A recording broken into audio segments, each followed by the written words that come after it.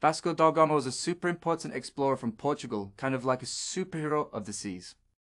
He was born around 1460 in a place called Sines, Portugal, right by the ocean. Because his family was pretty fancy like the VIPs back then, grew up in a big house and learned about ships and the sea from a young age. In 1497, when Vasco was about 37, the King of Portugal, Manuel I, gave him a really cool but tough mission. He asked Vasco to find a way to India by sailing around Africa. Why? Because Europe was crazy about spices, silk, and all sorts of treasures from Asia, but getting there was super hard. The land routes were blocked by people who didn't want to share. So, Vasco got a brave crew and four ships and set off into the unknown.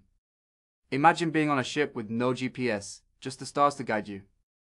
They sailed around the scary Cape of Good Hope at the bottom of Africa.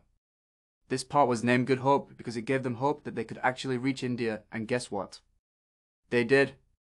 After lots of months at sea, facing huge storms, getting a bit lost, and almost running out of food, Vasco and his crew finally made it to Calicut in India in 1498. It was a huge deal because they were the first Europeans to get there by sea.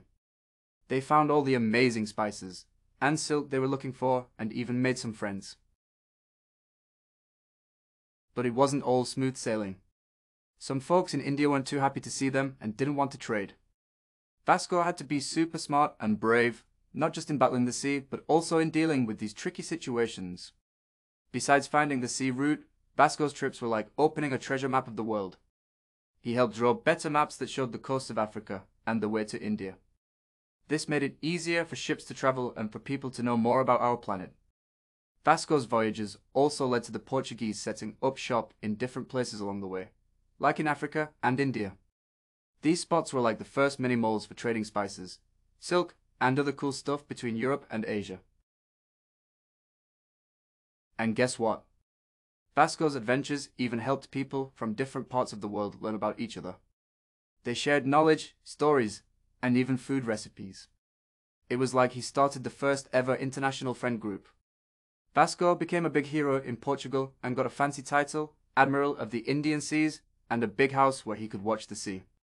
He had a bunch of kids and told them all about his adventures.